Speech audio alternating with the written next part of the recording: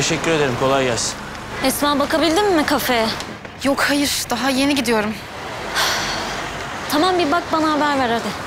Tamam. Ay bu çocuk tedavisi bitmemiş diye bir yerde düşüp kalırsa ya. O zaman ben geberteceğim o aptalı kendi ellerimle. Tamam.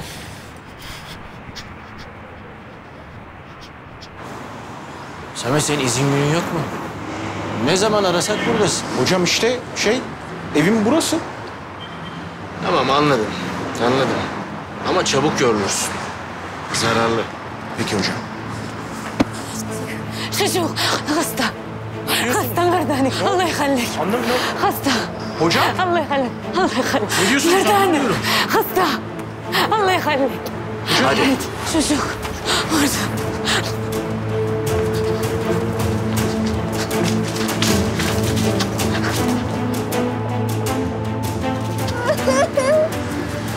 Hemen sedye getirin.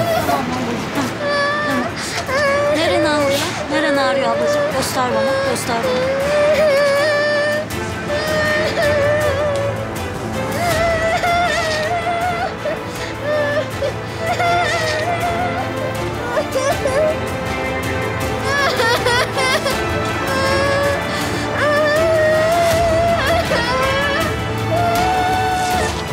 Hocam kız hamile.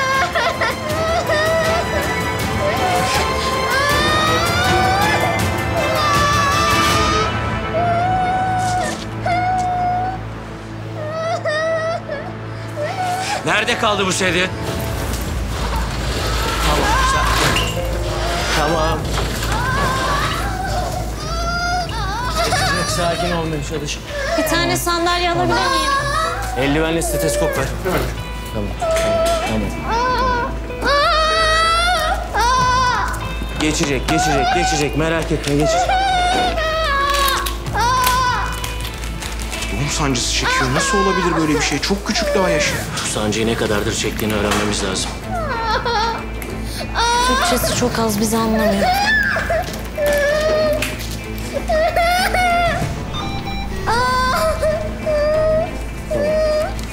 Canının yandığını biliyorum ama sabit durman lazım, tamam mı? Hadi sık dişini biraz, dayan. Hadi.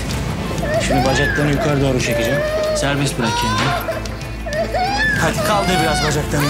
Kaldır, kaldır, kaldır. Tansiyonu çok düşük. 7'ye 4. 600 cc sıvı ver. Peki. Karnının sağ tarafında hassasiyet var. Tamam. Geçecek. Fetüs yok, hamile değil.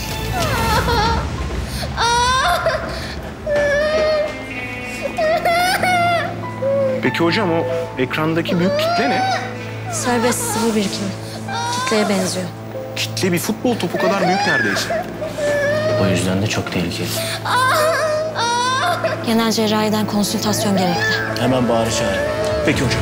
Tamam, tamam, tamam.